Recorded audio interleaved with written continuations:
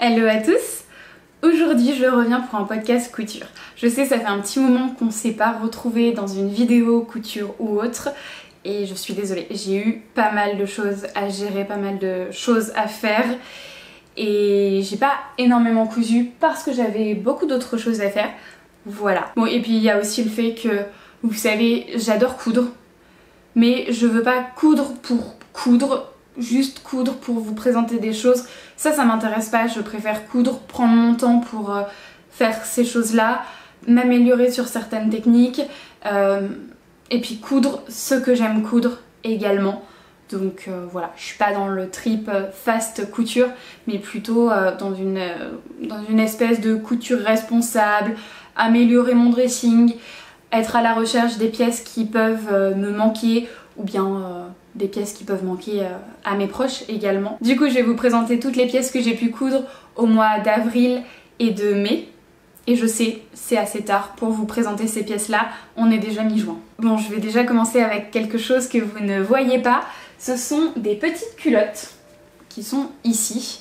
Je les ai bien repasser et plier juste pour cette vidéo parce que je ne repasse pas mes culottes, genre euh, faut pas trop abuser non plus. Donc ce sont des culottes qui proviennent du patron Jacqueline d'Atelier Guillemette. Et je crois que je les ai cousues dans la taille 38 ou 40, je sais plus exactement. Je les ai cousues dans un jersey de coton, enfin en tout cas celle-ci est dans un jersey de coton et les deux autres sont dans un jersey de viscose, donc un petit peu plus doux, un petit peu plus léger également, plus fluide, qui se tient, qui est un peu plus compliqué entre guillemets à coudre à la machine, mais après euh, ça ne fait pas une énorme différence.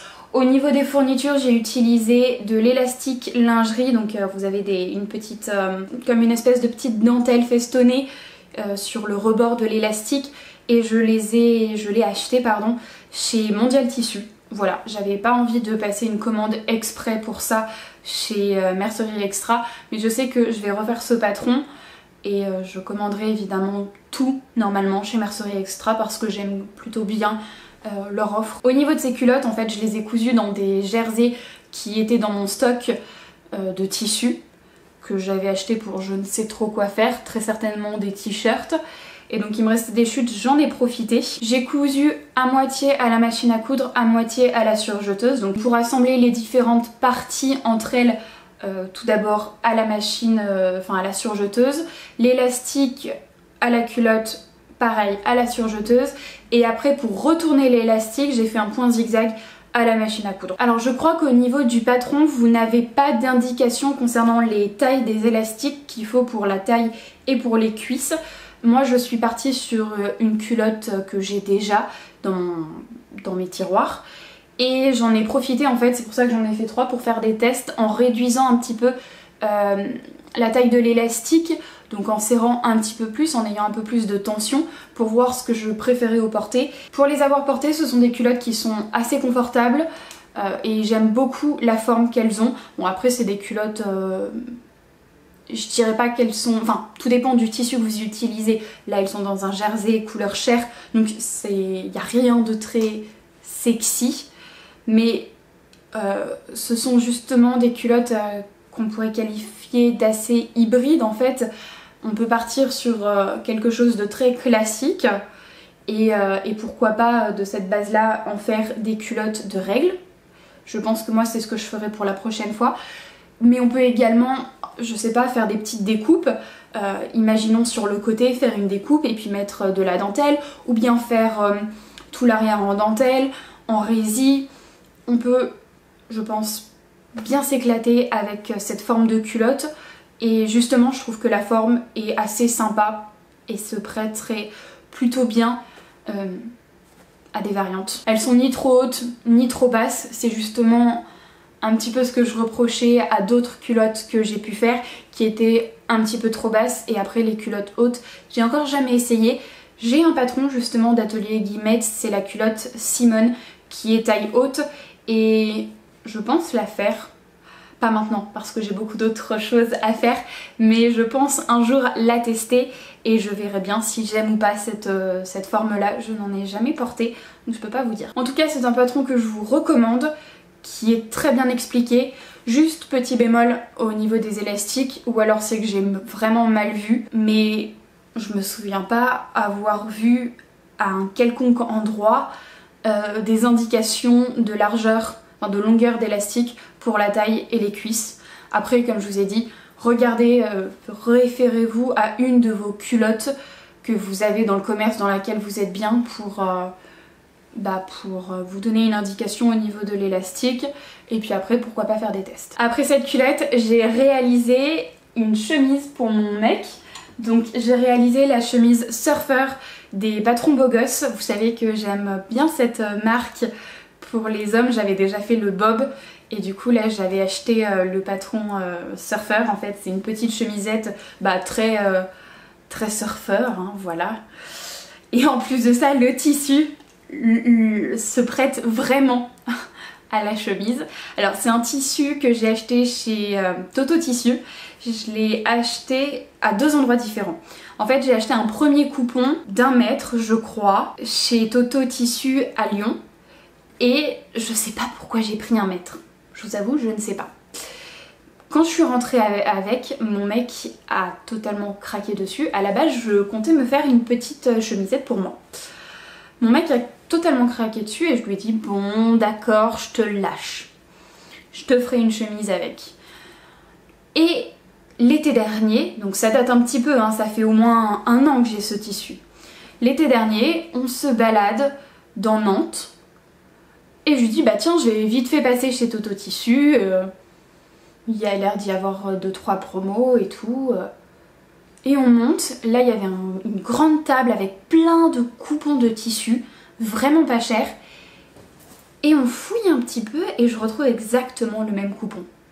Et la banco, on le prend évidemment parce que 1 mètre pour faire une chemise c'est un peu juste quand même. Enfin voilà vous faites pas de manches ou euh, vous skippez euh, un morceau parce que c'est pas possible. Pour une chemise femme, moi je voulais faire une chemise femme pas forcément avec des manches mais surtout une chemise euh, assez courte que je pourrais nouer au niveau de la taille donc ça aurait fonctionné.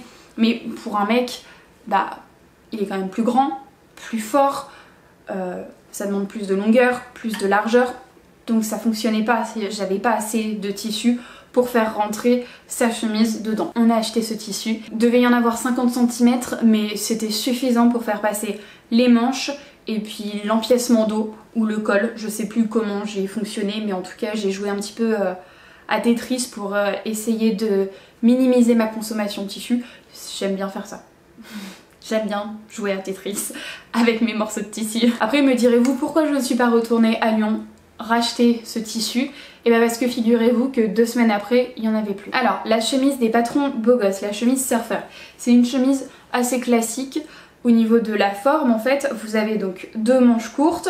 Au niveau de la longueur, c'est quand même euh, assez classique, hein, mi-longue on va dire. Enfin, elle arrive un petit peu en dessous, euh, mi-fesse à peu près au niveau des hommes. C'est une chemise assez, enfin on va dire coupe droite, légèrement loose mais pas plus que ça non plus. Je vous indiquerai la taille dans laquelle je lui ai cousu. Vous avez un empiècement dos, ce qui est assez classique au niveau des chemises hommes, qui revient très légèrement sur le dessus, sur le devant de l'épaule. Vous avez un col en une seule partie, voilà. C'est ce que vous retrouvez très souvent sur les pyjamas euh, femmes ou hommes, vous savez les chemises, euh, les, les chemises de pyjama. Et du coup vous avez un enforme au niveau du devant de la pâte de boutonnage. Au niveau des petits boutons, ce sont des boutons que l'on a achetés chez Mondial Tissu qui ont un effet euh, bois un petit peu travaillé. Et puis oui, vous avez aussi une poche euh, poitrine. Et le tissu, je vous ai pas dit, mais c'est une viscose. Seul problème, c'est que, bah en fait, elle se froisse un petit peu. Donc là, je l'ai défroissée, je l'ai bien repassée juste pour la vidéo, mais je vous avoue que c'est un peu dommage parce que quand il la porte, bah, elle se froisse assez rapidement et quand elle sort de la machine, elle ne ressemble à rien du tout. Faut forcément, après qu'elle ait séché, la repasser parce que sinon c'est vraiment euh, affreux, enfin ça ressemble à rien. C'est vraiment le seul inconvénient. Mis à part ça, il aime beaucoup cette forme de chemise. Au début, il était un petit peu sceptique parce qu'il a toujours eu des chemises avec un pied de colle. Là, vous n'avez pas de pied de colle. Donc, du coup, elle est très ouverte sur le devant. Enfin, très ouverte. Elle est un peu plus ouverte que si vous aviez un pied de colle et du coup, un bouton supplémentaire. Au début, il était un petit peu sceptique au niveau de cette forme-là. Et finalement, après l'avoir un petit peu portée et en avoir essayé d'autres, finalement c'est une forme qu'il aime bien et, euh, il voudrait que je lui en refasse. Donc euh, on verra, pas maintenant, mais on verra peut-être qu'il en aura d'autres s'il est sage. Toutes les surpiqûres de cette chemise, je les ai faites en rouge. Il a choisi rouge. Euh, tout comme les boutonnières, je les ai faites en rouge.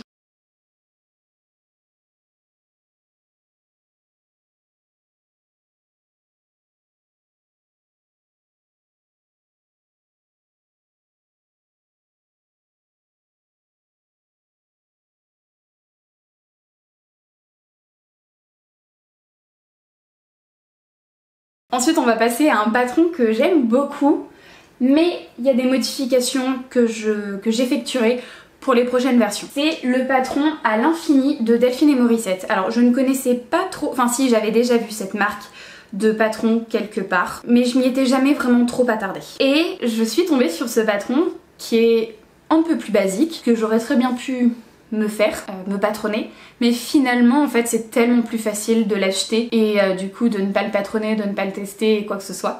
Donc voilà. Alors, c'est un petit patron de Caraco. Vous voyez, là j'ai fait une version assez courte. Et comme son nom l'indique, il s'appelle à l'infini.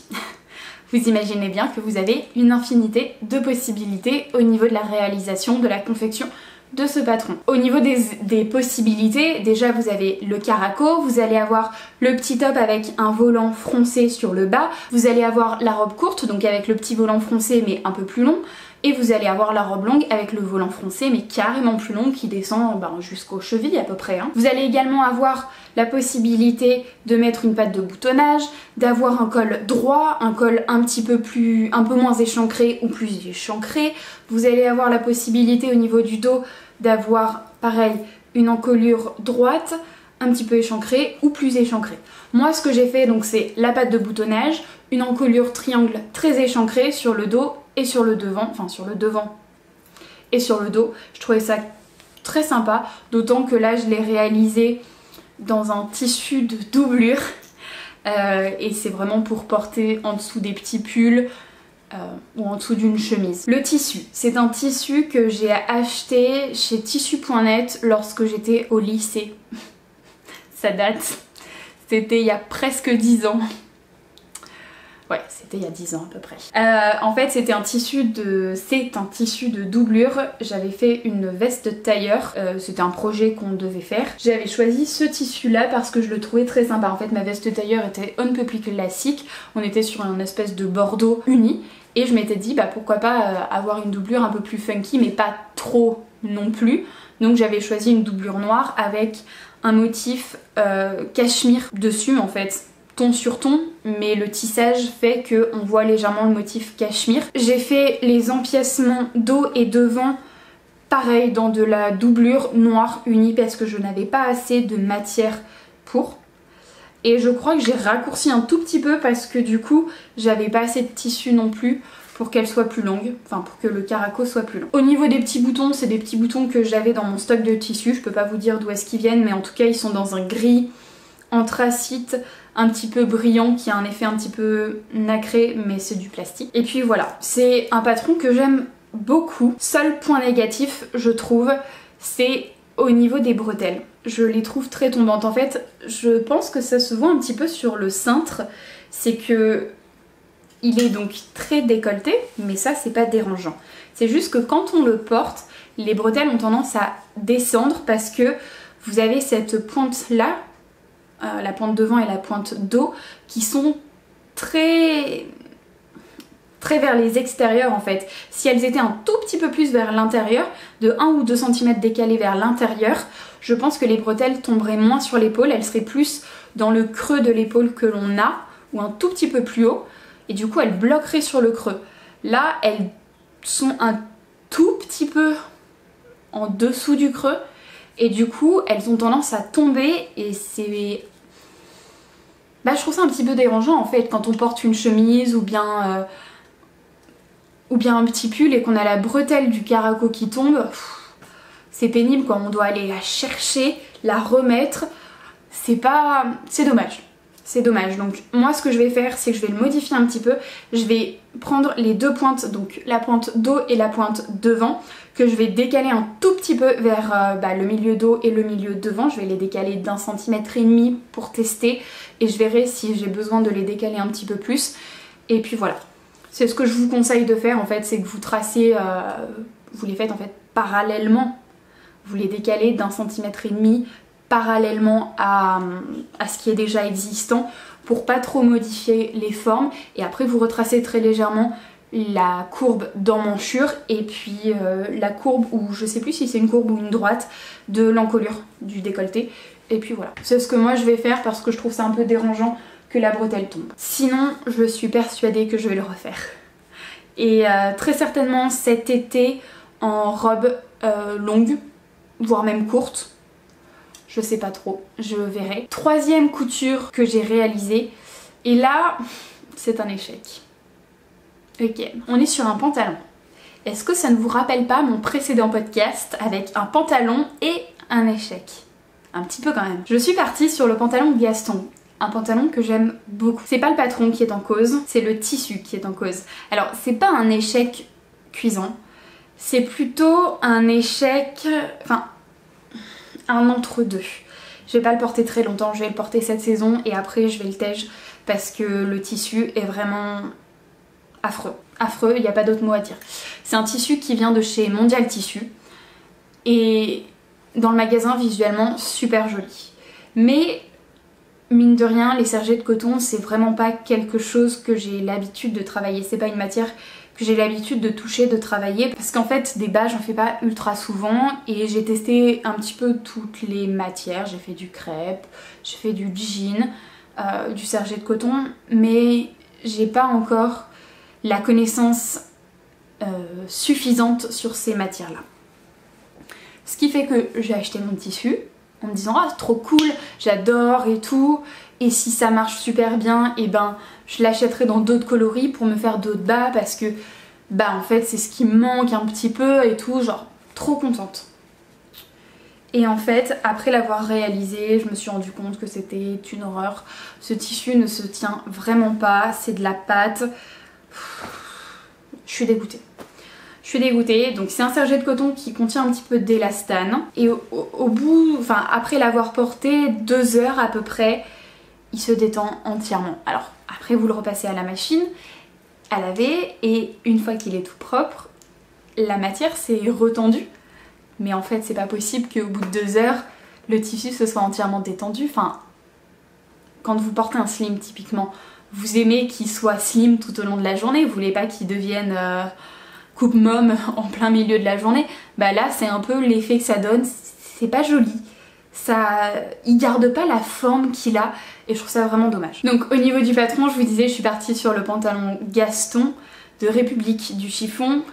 Je l'aime bien ce patron parce que je sais comment il taille et, euh, et je l'ai déjà réalisé une fois donc pour moi c'était un petit peu comme une valeur sûre. Sauf que je voulais pas cette coupe large au niveau du bas des jambes, enfin pas autant je voulais vraiment qu'il ait cet effet assez droit, assez près du corps, qui soit un peu 7-8ème, et très légèrement plus large, euh, qui moule pas en fait la cheville et le mollet jusqu'en bas, qui sont un tout petit peu plus larges.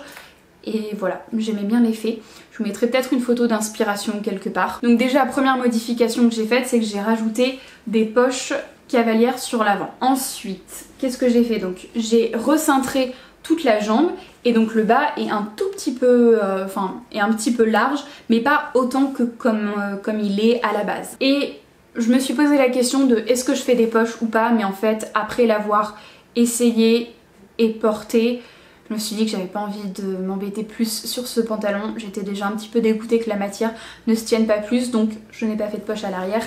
J'ai laissé les deux, euh, les deux pinces visibles comme ce qui est euh, à la base. Au niveau des poches cavalières, alors je sais pas si ça se voit peut-être que lorsque je le porterai ça se verra un petit peu plus.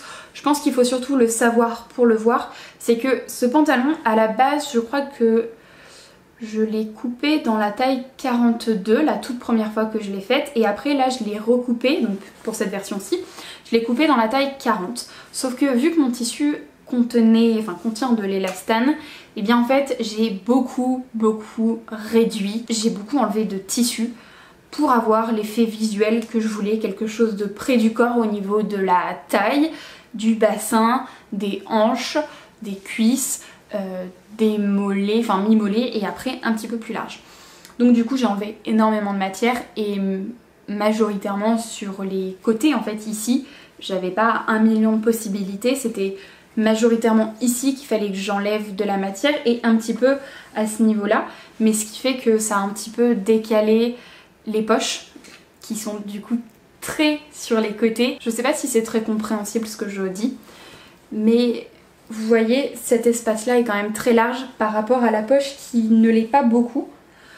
Normalement c'est plutôt, euh, on est plutôt sur quelque chose de kiff kiff voire une poche un tout petit peu plus grande. Là ce n'est pas le cas. Visuellement ça se voit pas plus que ça. Moi je le sais parce que c'est moi qui l'ai cousu et que c'est moi qui le porte donc quand je mets les mains dans les poches je sais qu'elles sont très vers l'extérieur. Mais c'est tout. Et c'est là qu'on se rend compte qu'une gamme de taille euh, ça sert quand même à quelque chose.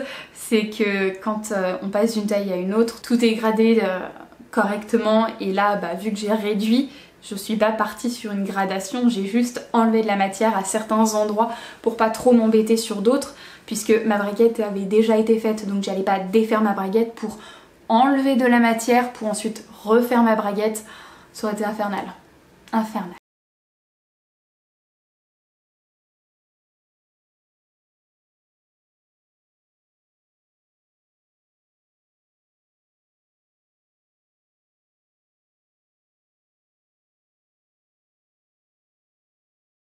Cinquième couture que j'ai fait et c'est ce short là, c'est le short Carlotta de Make My Lemonade que j'ai réalisé dans la taille 40.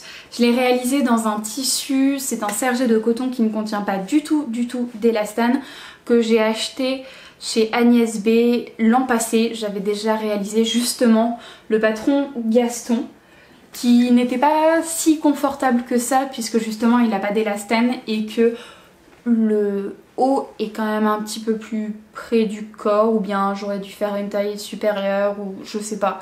Mais bon, voilà, c'était pas le plus adéquat. D'autant plus que c'est un tissu qui est un petit peu transparent. En fait, on est sur un, un sergé qui est assez... qui est blanc et qui est pas très épais. Donc du coup, alors je sais pas si vous le verrez vous, mais on voit la couleur de la culotte et aussi parce que le pantalon Gaston, vous n'avez pas de poche à l'arrière, donc forcément vous n'avez pas de surépaisseur, puisque les poches rajoutent une épaisseur, donc ben quelque chose de un peu transparent plus quelque chose d'un peu transparent, on a beaucoup moins de transparence que quelque chose de un petit peu transparent et rien du tout. Voilà. Et puis vous avez aussi bah, les poches euh, cavalières qui sont bah, pour le coup euh, qui rajoute beaucoup d'épaisseur par rapport à juste une petite poche plaquée comme ça sur le pantalon Gaston. Donc ça me dérange moins qu'il soit légèrement transparent. Ça se voit beaucoup moins du coup parce que vous avez les poches qui rajoutent des épaisseurs. C'est un short que j'aime beaucoup, qui est pas très compliqué à réaliser, franchement. Le montage de la braguette, c'est tout. Et quand je dis compliqué, ça va. Quand on en a fait 2-3, euh, ça va ça va le faire. Sinon, rien de très compliqué. Je sais pas si j'ai pris exactement la même longueur, je me souviens plus, je peux pas vous dire. Moi c'est vrai que j'ai tendance à rajouter un tout petit peu au niveau de la coupe et après j'ajuste sur moi. Mais si je peux vous donner une indication, je viens d'aller chercher ma règle japonaise, c'est que au niveau de l'entrejambe, j'ai, avec l'ourlet, en comptant l'ourlet évidemment, j'ai 9 cm. Donc on n'est pas sur un short ultra ultra court. Genre on va pas voir euh, la naissance de mes fesses avec. Mais on est sur un short court d'été, très agréable à porter. Au niveau de ce patron, donc vous avez des poches cavalières, un montage braguette, vous avez une ceinture en forme, vous avez un empiècement dos juste ici et vous avez des poches au niveau des fesses, des poches plaquées au niveau des fesses. Donc au niveau des cuisses, on n'est pas sur quelque chose de trop serré. Après, j'ai un petit peu modifié au niveau des cuisses. Justement, je vous explique avec le patron. On va prendre le devant. Au niveau du devant en fait, ici j'avais rajouté 1 ou 2 cm. Donc euh, là c'est le devant euh, intérieur. Et sur la couture côté, c'est pareil, j'avais rajouté 1 ou 2 cm et donc j'étais partie en mourant.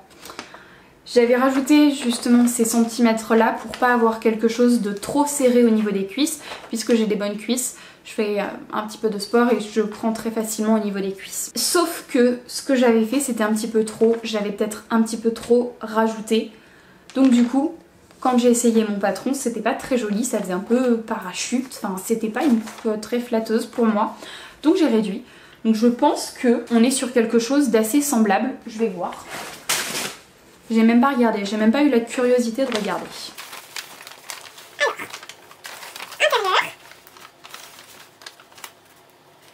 Ben, on est sur quelque chose de pareil, enfin d'identique, pardon.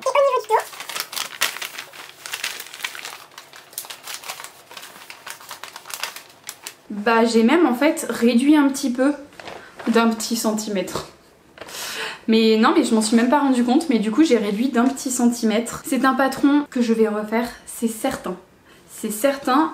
D'ailleurs, j'ai un tissu que je vais vous montrer qui va être utilisé pour faire ce patron. J'ai acheté ce sergé de coton qui est un peu, euh, je crois qu'il est noté comme jean sur le site de Stoffen et c'est la couleur pétrole si vous voulez tout savoir. C'est un tissu qui contient un tout petit peu d'élastane, très légèrement, qui à mon avis sera du coup très confortable. Bref, gros coup de cœur pour ce patron. Et c'est assez rare que j'ai des coups de cœur comme ça. Je le trouve parfait, il n'y a aucune modification à faire. en tout cas, c'est vraiment moi, mon avis et mes goûts. Donc, pour moi, c'est tout ce que j'aime. Il n'y a rien à faire. Il n'y a rien à ajouter. Il est parfait. Et bah, je me suis pas plantée de taille parce que c'est vrai que je me suis remémoré un petit peu le fait que ils ont tendance à tailler un petit peu grand, un petit peu loose.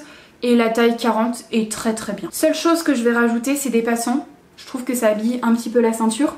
Là, il n'y en a pas et c'est bah, du coup un petit peu dommage, on va dire. Donc ouais, juste rajouter, rajouter des petits passants et peut-être que je m'éclaterai un petit peu à faire des petits dessins euh, sur l'arrière des poches.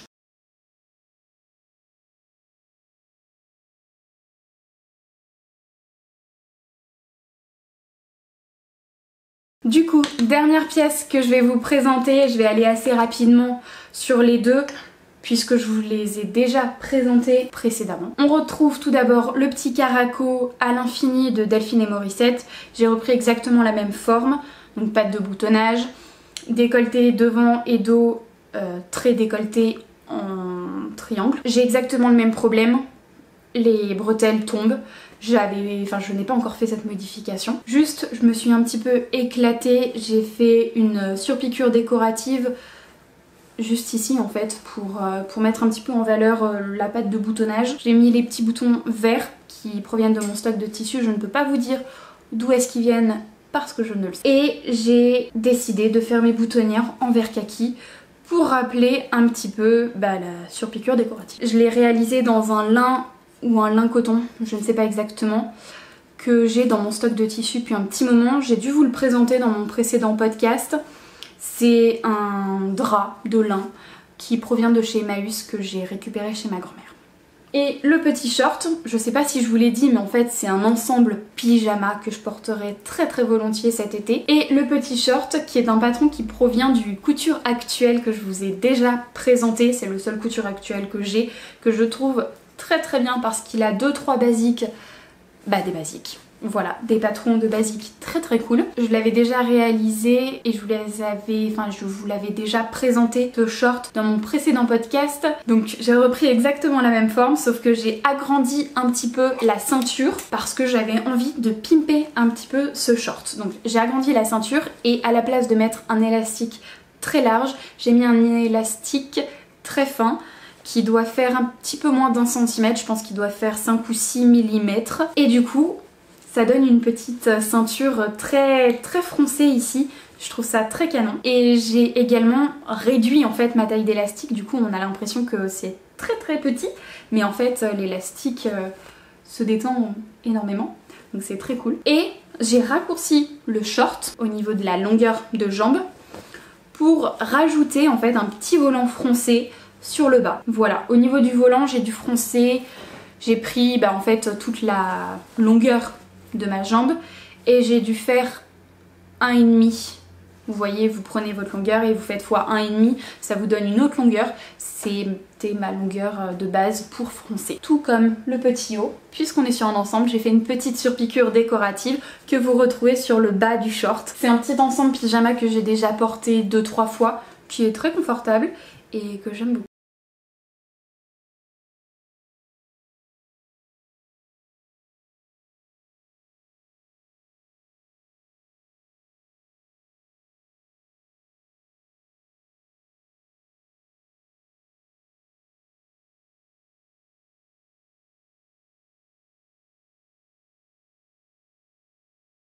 Du coup, qu'est-ce que j'ai prévu de coudre prochainement? Et eh bah tout d'abord le short, je vous montre le tissu qui est juste ici, donc le short Carlotta de Make My Lemonade dans plein d'autres versions, au moins trois, donc celle-ci et deux autres. J'ai également trouvé quelque chose à faire. Euh, vous savez, dans mon précédent podcast, je vous disais que j'avais très envie de faire le hack euh, de Blooming Sewing, un petit hack Cézanne en fait, c'est un petit sac très mignon Sauf que j'étais pas tout à fait sûre de si j'allais vraiment l'utiliser ou pas. J'ai vraiment réfléchi et je me suis dit que non, je ne l'utiliserai pas. Donc j'ai trouvé une parade à ça. Je vais également faire un sac, mais pas un petit sac type sac à main, un sac un peu plus... Euh, un sac de voyage en fait un sac un peu plus gros, enfin voire même beaucoup plus gros, qui sera utilisé pour un sac de week-end, un sac de voyage. Donc euh, je vais bien m'éclater avec ça. Et surtout, je suis en train de faire la robe de mariée d'une copine, donc ça, ça prend énormément de temps.